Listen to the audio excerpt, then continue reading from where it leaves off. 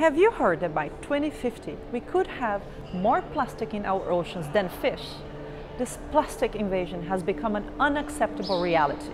And this is because pollution is compromising the health of our planet and consequently our own health. That's why we are here at the GEF Council meeting, where countries and civil society are together, joining forces to say no to this plastic invasion. But saying no to plastics is not enough. We need long-term solutions for our excessive consumption patterns and wasteful societies. Solutions that will address the heart of the problem, such as global regulations on waste management. And on that, we have good news.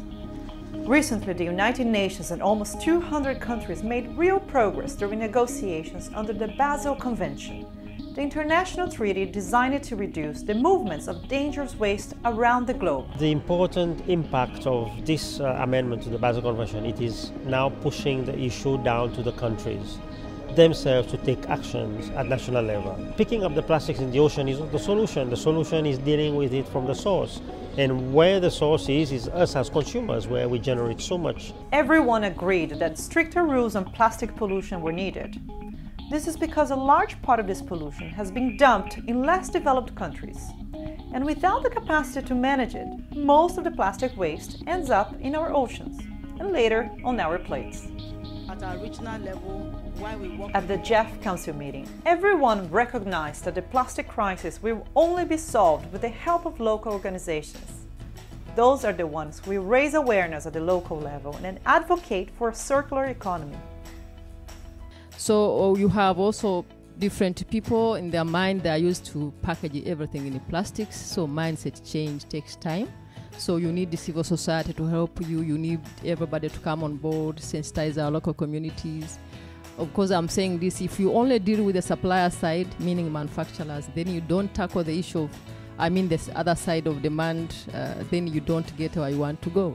Uh, fish is our main um, staple food. So imagine if the fish eat plastic and we are eating plastic in a way. So our civil society, society organization, we feel that there is a dire need to work on plastics. There's a real need for innovation in this activity, and a lot of that's going to come from your civil society engagement on the ground in country. Because this is a lot more than just banning straws or banning plastic bags, but we need systemic change.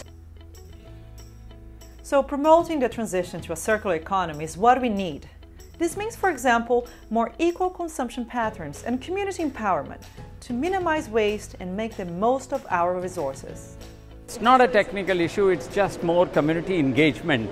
It is how to involve the people who are at the last leg of the tire and also the policy makers who are at the top leg. There is a missing in link between the two.